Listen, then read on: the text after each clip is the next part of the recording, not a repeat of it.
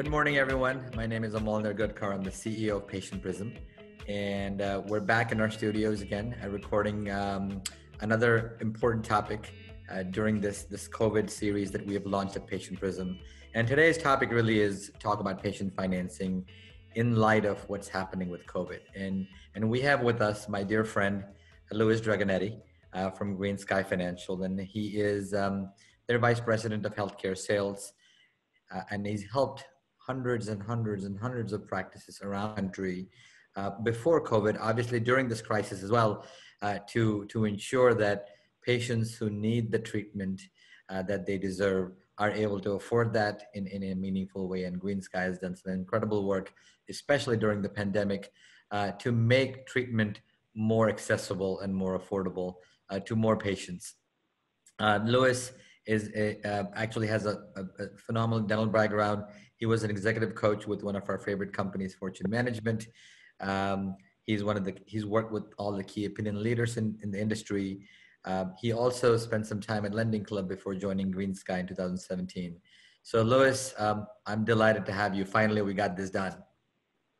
Thank you. Thank you for having me. It's a pleasure being here with all of you. Um, the question I have for you right off the bat is, you know, obviously this crisis has, has really changed the way we think about stuff. Um, so from from your standpoint, I know you guys are one of the big financing companies out there for patient financing. What trends are you noticing as a result of this pandemic? Well, you know, um, to start off, some of the trends that we've been noticing is a lot, a lot of the doctors they're struggling with, you know, capacity at the office. You know, given you know this pandemic, a lot of patients are, you know, reluctant to come in. Um, also, you know, with the whole topic of PPE, you know, new protocols. Um, you know, they have to basically redefine the way they practice. So what we've noticed is that a lot of these dentists, they're embracing technology a lot more as a way of communicating with the patients prior to coming in to the office. Some of these um, technology platforms include telemedicine platforms, um, you know, um, dental chat platforms where they can communicate prior. Um, so basically what we've noticed is that the communication with the patient has taken um, an evolution. You know, telemedicine platforms have always been around, but I think um, given the pandemic, a lot of dentists are realizing that, hey, this is the way to go. You know, so we've seen that we've definitely seen a shift from a technological standpoint to embrace those modes of communication. Also, we have seen a change in the way they operate in terms of, you know, the working hours. We've seen a lot of doctors have opted into extended hours. Also, you know, opening up during the weekends because of childcare. We've all been dealing with this, having the children at home. The summer camps are closed down, schools, you know, being closed and whatnot. Um, you know, they need to accommodate to the to the consumer. So basically, what we've noticed is that you know it's been challenging, but you know they've been resilient. So we've seen a change in the way they operate. So to accommodate to that, what we've done on our end, we've also extended our customer service hours to accommodate to the extended hours. And we've also looked for ways to integrate with those technology platforms. Wonderful. So, so they've made changes in terms of communication, and that's great to hear. It's music to our ears, right? Because that that's the platform we're in, or in the process. You know, we believe in com- optimal communication on the phone, but but all those protocols have to be changed because you know patients are scared. Uh, what what do you see in terms of revenue trends? Uh, uh, are are practices coming back with a bang? Uh, what do you see with your, you know, you guys deal with lots of high-end uh, dental practices across the country? Sure. So, um, you know, we've been surprised. Uh, the demand is there and the consumers do want to move forward with uh, their elective procedures. So we've seen that a lot of the dentists that offer cosmetic procedures, um, they've seen an uptick in business. Okay. Some of it might, might be an overflow of everything that was scheduled prior to the pandemic, but the consumer is hungry and they want to get out there and they want to move forward with, with the procedure. So we, we have seen that a lot of doctors are experiencing a lot of growth during these times, which is um, obviously beneficial for everyone. And, and obviously you guys have a role to play in here, right? Because um, for, for, for, for many, many years, you guys have helped patients afford that, uh, afford that treatment and and and now given the economic uncertainties um, it becomes even a harder conversation sometimes to say hey do i have $5000 $10000 to shell out for a treatment that i absolutely need right I need it for my own health, not just for aesthetics, but I need it for my health. And how do I get to afford that? So tell us what GreenSky is doing uh, specifically to help uh, patients as well as doctors kind of navigate some of the financial challenges that are that are presenting themselves. Sure. Uh, as you mentioned, a lot of consumers nowadays are going to be less willing to tap into their own bank accounts. So I think, you know, third party financing as a whole, we're going to see that a lot more dentists are going to embrace it. Um, it's no longer going to be an afterthought. It's no longer going to be the last part of the process. I think it now becomes in the forefront. As I previously mentioned, with the issue of um, reduced capacity, you know, dentists, they want to make sure that that office visit is efficient. So the way to ensure that is to make sure that they're always talking about, you know, ways to afford the proposed treatment beforehand. So some of the things that we've been doing here at GreenSky, we've partnered with several tech companies and you know we have robust API capabilities. So what we're doing is to integrate into various platforms such as the telemedicine platform, practice management software platforms, um, payment facilitators. So we're using our technology to embed our platform in others so that patients prior to walking into the office, they have access to those payment plans. So I'll give you an example. Let's say you are a doctor and you are leveraging some type of telemedicine platform and you're having a discussion with your patient. One of the unique things that we're doing recently, we've embedded our pre-qualification functionality into those platforms so that while you're having the conversation with your patient, you can tell them, hey, why don't you go ahead and pre-qualify yourself? This doesn't impact your credit, and it will allow you to know what's available for you. This is going to reduce a lot of the stress around the financing. Okay, it's going to help the doctor secure his schedule, and it's also going to allow the consumer to feel comfortable enough to going into the practice knowing that it's covered. Yeah, it makes so much sense. I mean, um, we've we've talked to people, experts across the across the industry, and and the importance of filling up the schedule uh, in the next few months is so um, uh, so valid today because you want to make sure you get back to the, the normal uh, you're 100% or even more than that what what you did before you know dentistry was having a phenomenal year until this hit right? And and you want to get back to that. And and part of that process is is also reactivating your patients with who have unscheduled treatment. And what a great way would, it would it be that you can call the when you're calling the patients for a reactivation and saying sir hey we, we propose to you uh, an, uh, an implant uh, a couple months ago. We're ready to see patients again. By the way, uh, we partnered with GreenSky and we can do a quick uh, pre-qualification, get you all approved, no money down right now. Come on in and, and, and we can start the treatment now so that you don't want to get that deteriorated, right? Because obviously in the dental implant world, which you guys do a lot, you know, bone only deteriorates, right, over a period of time. So, so you need healthy bone and, and, and the importance as you're conveying the importance of urgency, uh, it would be great to use your pre-qualification tool uh, to really get these people reactivated saying, hey, it's safe to come here. We've got the PPE. We've got all the uh, necessary control tools, but we also have a great way for pre-qualifying you so it, it doesn't cause uh, any, any problems with your finances. So are you seeing Absolutely. that? Are you seeing uh, some practices use that as a reactivation tool, the pre-qualification? Absolutely, absolutely. So you know, where before, like I previously mentioned, where before they didn't put so much an, an emphasis on the financing, now they're realizing like, hey, there's opportunity here. Why not leverage this tool that we have available to us as a way to facilitate that conversation with the patient? And ultimately, the goal is to explore, right? You want the patient to feel comfortable enough to come in and explore their options with you. So, the, you know, the pre-qualification tool and the idea of no impact to the credit removes a lot of that anxiety around financing because let's face it, nobody wants to impact their credit, you know, and then given the current circumstances, I mean, everyone's in a tough position. So leveraging that tool in a seamless manner is a sure way to start the conversation and jumpstart some type of treatment with the patient. I mean, we almost need to come up with, uh, you know, a new protocol about how do we communicate to clients about money. And, and, and, and over 4 million calls we have analyzed at Patient Prism, and, and I, I would say at least 30% of them uh, don't get scheduled because money is a concern, right? And money is a concern for all of us, right? It's, it doesn't you know, grow on trees or fall from the sky. Uh, we gotta kind of have our budget and our, our finances and our cash flow managed. And, and obviously, uh, at the same time, we need to make sure that we're taking care of our health.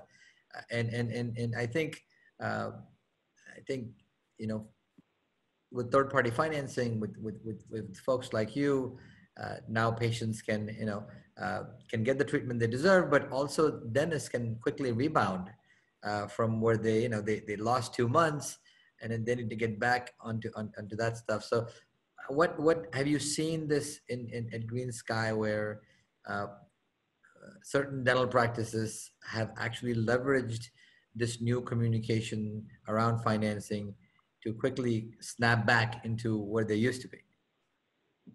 Absolutely. Marketing, marketing, marketing, right? It's all how we market to the patient. The average patient doesn't understand why they need $5,000 for straight teeth, but they could relate to $60 a month.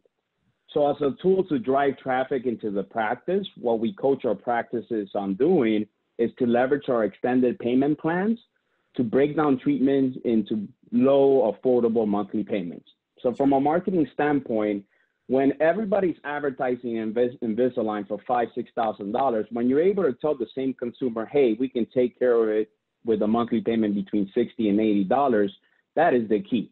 The key is to get that patient into your practice. So the practices that are doing it well and the ones that have been very successful, they've been leveraging our extended payment plans and taking some of our guidance. And there have been, you know, their their most profitable treatment plans and the ones that they always go to, whether it's implants, Invisalign, they start to market more on that monthly payment. And when you think about it, that's that's you know consumer behavior 101. Everything we do in our lives is based on that monthly payment. It's like the Mercedes Benz. Imagine if we were looking at that Mercedes Benz commercial and they would tell you Mercedes Benz, $65,000, come get yours. Who goes and gets the Mercedes Benz? Nobody, right? But they tell you it's 499. So same concept, right? To remove some of that, you know, financial stress, to remove some of this preconceived notion that insurances are going to cover everything. You know, if you start to market based on affordability and flexibility of payment, this is a sure way to drive more traffic into the practice. And and you know, it also helps with uh, you know case presentation, right? Because obviously.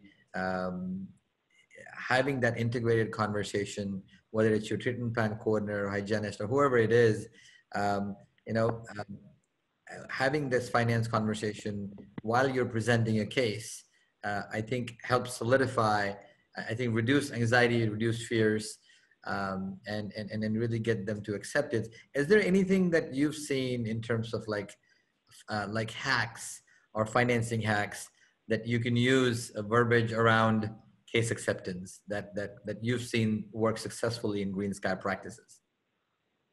Absolutely. So with case acceptance preparation is key. And what i mean by that you know it is important that all of the team members hammer home the idea of affordability and flexibility of payment in all interactions with the patient you're going to notice that perhaps it's a you know a front desk team member or hygienist you know, naturally, us human beings, we build good relationships with certain types of individuals. So what we coach our teams is to always remind the patient that there's an affordable way to move forward with treatment, that you are committed to making it happen for them. Okay. So some of the financing hacks that we can share with you guys is to be prepared. Know exactly what the estimated monthly payment is going to be for the proposed treatment plan beforehand. Okay. So instead of, you know, just going out there and focusing on the total cost, why not start with the potential of a low monthly payment and slowly usher your patient to the total? So for example, if you had a $6,000 treatment, I could tell you, well, Mo, to make, you give you that beautiful smile, your treatment is going to cost $6,000. At that moment, I lost you because now you're fixated on the fact that you need $6,000 to get this beautiful straight teeth, right? Now, if I take a different approach and I said, hey, Amol, we have wonderful payment options that we can explore, and your monthly payment can be as low as $89 a month. Why don't we go down this journey together? You see what I did right there? I removed the anxiety. Okay, I started it with a feasible, affordable monthly payment, and then slowly but surely, I will take you to the total. You know, so the approach is not to sell anything, it's just to facilitate what the patient truly wants.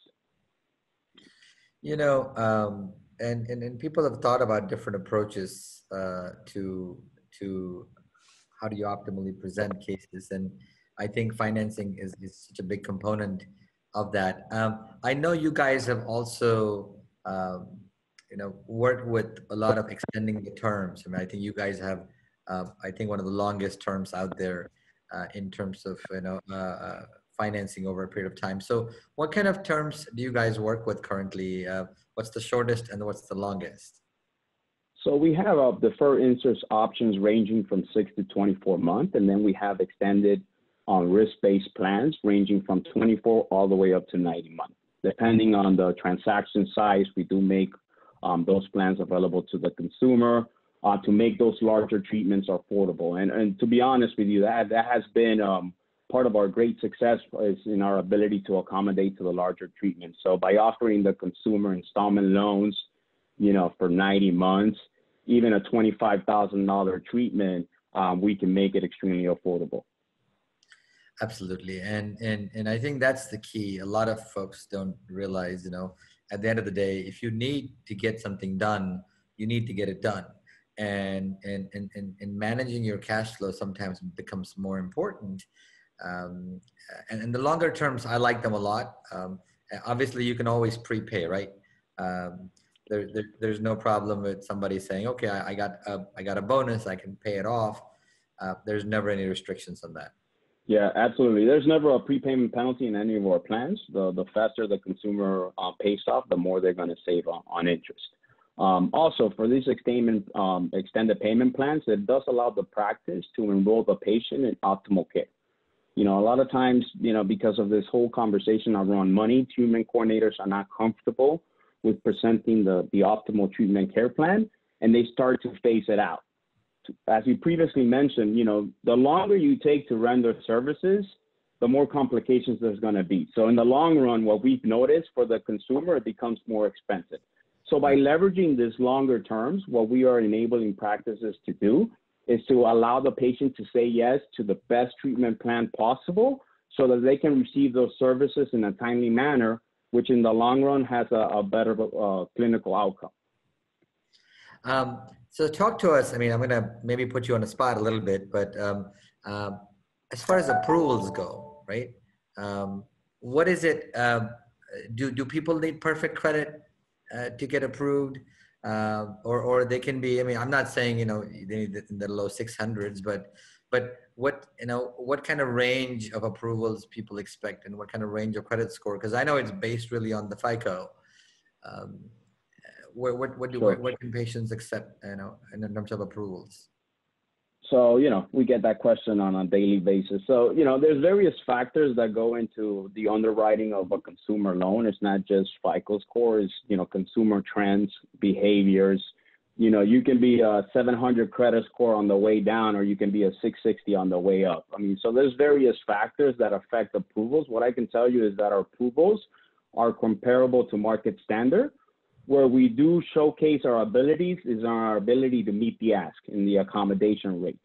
Um, so basically, when the consumer is a prime consumer and is credit worthy, not only can we offer them longer terms, but we can also offer them lower APRs, which okay. we all know is a pain point. So, uh, you know, a lot of practices don't like to leverage the extended payment plans offered by other lenders because some of these plans have a fixed APR that might be perceived as too high for a consumer that can get a single digit APR with one of their credit cards. So, you know, for the more credit worthy consumer, we are offering them lower APRs, which also increases the conversion rates at the practice. Because the lower the APR, the more affordable the payment, um, the higher the case acceptance. So you're telling me that GreenSky is not this one size fits all solution, right? It, you're going to kind of calibrate even the APR because sometimes you go out there, and I, I agree with you you know you go out to consume you know financing companies and it's one rate right? No matter what the term is no matter what you got 800 or, or 600 it's the same exact rate. And and it seems almost unfair uh, you know if you have 800 and you have good income um, and, and and and and for you to pay 15% versus like a, a like a, a, single digit one it seems unfair right? Um, so so it's encouraging to know that um, you guys are flexible with the APR uh, especially when, when it comes to certain prime prime customers. Um, what can um, dentists do um, to really um, what kind of puts you in a different spot than everybody else out there? There's lots of people out there in the space we know that right? In the last few years it's been like you know my god i go to these trade shows and i see oh there's four or five more companies doing uh, uh, consumer uh, patient financing uh, what really puts uh, GreenSky in a different um, uh, what's what's different about you guys like why why choose you guys sure so GreenSky, we have two different types of platforms that we can leverage to accommodate to the business model of the healthcare provider. So if you're a low ticket recurrent, you know, recurring type of model, our revolver platform is the way to go. Our revolver platform is more like um, the CareCredit, um, you know, consumer credit card. And then we also have the installment loan platform, which is better for your oral surgeons, you know, for the full arch cases.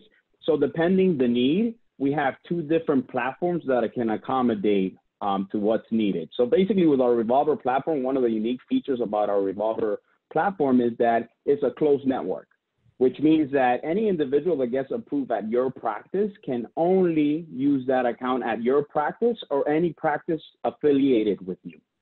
This is a great feature of our, our, our platform because it allows you to build the fence around your patient. So when you start to think about what is the average acquisition cost of a patient, you know, you ask, you know, and we've worked with several DSOs, it's somewhere around four to five hundred dollars per patient. The wow. lifetime economics of this patient is over fourteen thousand dollars.